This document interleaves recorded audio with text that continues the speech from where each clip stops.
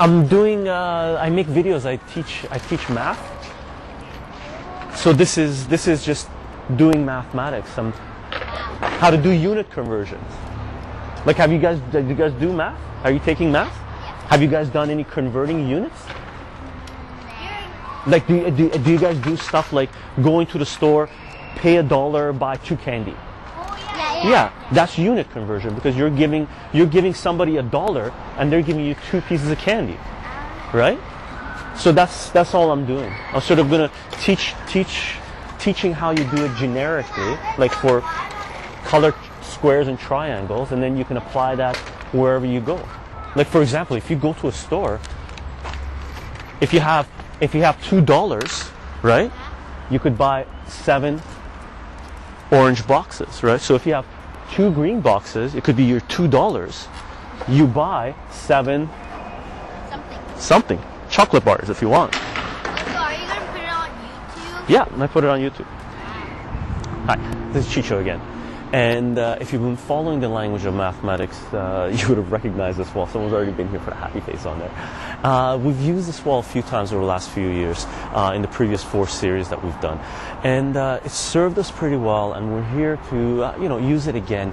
And what we're going to do is sort of lay out the work. Uh, this is a concept, what we're about to do uh, for the first few videos in the units and ratios section, which is basically to learn how to do unit conversions, how to move from one system to another. So the way you should think about a system is basically us human beings grouping things together, things that have similar behaviors, things that have similar properties, right? Or things that have similar ideas, similar thought patterns. You know, if you're preparing food, we ended up calling that cooking, right? If you're making pastries, we ended up calling that baking, right? If you're studying the motion of objects, we've ended up calling that kinematics, which is a branch of physics. What we're going to do is take a look at some of these systems, just list some of these systems, and take a look at some of the units that exist within these systems, okay? You know, science, engineering, technology, medicine, food, fitness, art, fashion, music, gambling, economics, or politics. And some of these some of these systems, some of these disciplines overlap with each other. A lot of these things overlap with each other. Some of them have units that only exist within themselves. A lot of them have units that exist beyond themselves, right? They cross over between all the different uh, di- uh, different disciplines that exist here. Sciences, again, it's a large umbrella. It has multiple branches going going off, multiple systems, multiple disciplines going off. There's in sciences, there's there's uh, physics, there's chemistry, there's biology, there's earth sciences, there's meteorology, astronomy, whatever you want, right? And each one of those has its own discipline within itself. Physics has kinematics. Physics has uh, right? You can just study, just continue to branch things off and go deeper and deeper into a system. And as soon as you group things together, as soon as you branch off and find it, find a whole bunch of other things that interact in a similar way, then you might create specific units that exist within that system only. So let's list some of these units that we may encounter, and uh, just, just uh, you know, so so that we're familiar with them. Okay.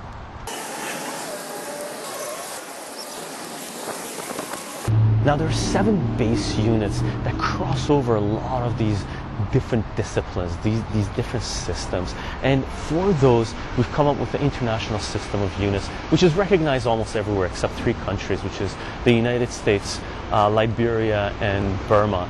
And those are the seven base units that I've written down here, which is um, meters, kilograms, seconds, amperes, uh, Kelvin, moles, and uh, candela. I've never I've never used it myself. It's and, and they represent each one. Meters is you know length. We need to find out how how long things are, right? How you know what what their dimensions are, right? And that's internationally we use meters. There's also the imperial system which uses feet and inches and and um, and, and miles, right?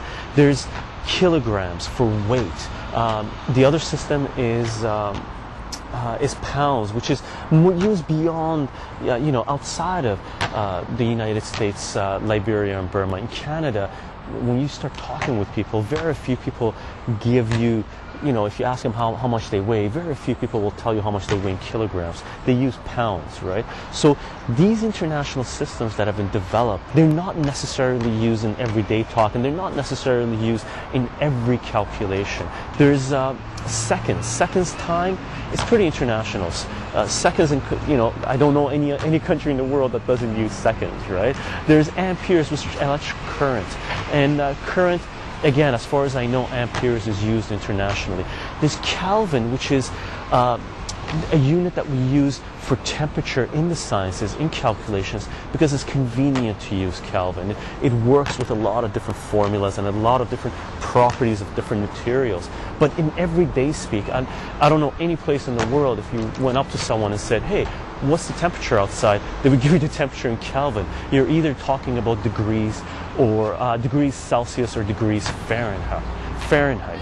And then there's um, moles, which is the amount of a substance, and that again is never used in everyday life because moles is a huge number, which is used in chemistry for uh, finding out, uh, talking about molecules, right? And you know, if you had a mole of people, that would be probably take over the world or something like this, right? So moles is very specific to certain disciplines here, certain um, certain systems that exist. And the other one, CD as candela, it's is luminosity. I don't, I've never used it myself. I might have used it when I did my studies in sciences, but I never used it myself in everyday life. Now, in these SI units, the first three, those basically encompass every system that we're talking about, right? If you're if you're running, you talk about how far you've ran. If you're if you're make you know doing reps, you're talking about how much weight you're lifting, right? If you're cooking something, you're looking at your clock and you're figuring out how long you've had your pastry, your pastry in the oven or, or whatever you have on the stove, right?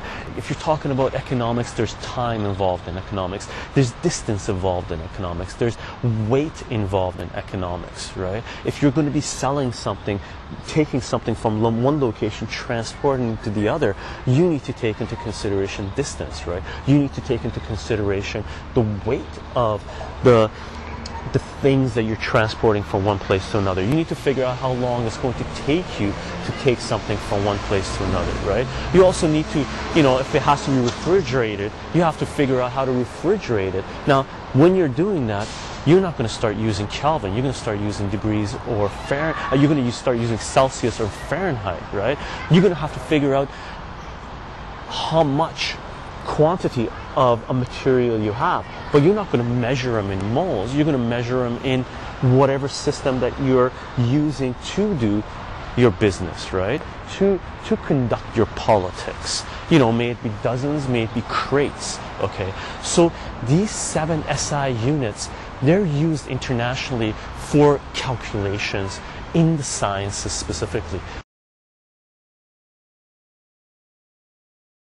Now, from these SI-based units, you can derive a whole bunch of other uh, units, which are basically called SI-derived units, right? And that's unlimited, and they come into a lot of different disciplines. May it be, may it be music, may it be medicine, may it be economic, fitness, may it be in, in cooking, in baking, whatever it is that you're studying there's going to be some form of units that you're going to be using which are SI units or derived from the SI units okay? So some of the derived base units here is you know there's a whole list of them it could be uh, hertz which is 1 over seconds. You could have radians you could have uh, newtons pascals joules watts uh, coulombs. If you're talking about volume of something. You talk about liters. If you want if you're getting into uh, electricity you're going to talk about volts. If you're getting into magnetic flux if you're studying magnetism, you're going to get into Tesla, okay? You're going to encounter Tesla, which is the magnetic flux of something. And if I can recommend something to you, if you're going to,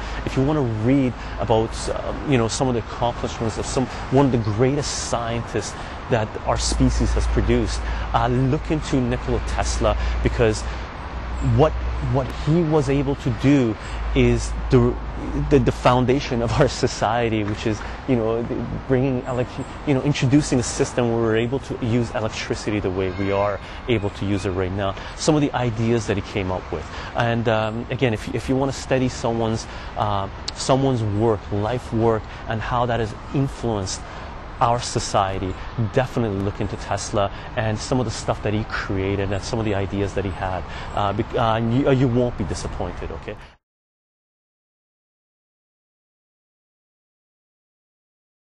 Now, for us to be able to figure out how to do unit conversion, we're not going to study a specific system because, as I mentioned before, mathematics is just a language, and how you use a language is very personal, right? So, if we start delving into a certain discipline to learn how to do, do unit conversions, we're going to alienate somebody, right? Because I may like something that you may not like. So what we're going to do, we're going to learn how to use unit conversion on a generic system. We're going to come up with our own little scale system and we're going to figure out how to just apply mathematics to switch from one system to another. And the way we learn how to do this is going to work with whatever system that we're going to study because we're not really concerned about right now delving into a system and learning how the system works. That's going to come into uh, play when we start doing math in real life, when we start applying some of the mathematics, some of the tools that we have in real life, maybe for gaming and gambling, uh, economics, politics, whatever it is, food and fitness, may it be in sciences, right? So what we're going to do right now is set up a sort of our own scale system. And we're going to use this for a few videos just to learn how to do conversions from one unit to another. And that's where ratios is going to kick in. So I'm just going to go here, lay down the system, and we'll take a look at it and discuss it very briefly. But keep this in mind what we're about to do, and definitely keep this in mind because this is what units are. Units are sort of a convention that we've come up with to explain certain properties of things in certain disciplines, right? In certain systems that we're either functioning in or studying.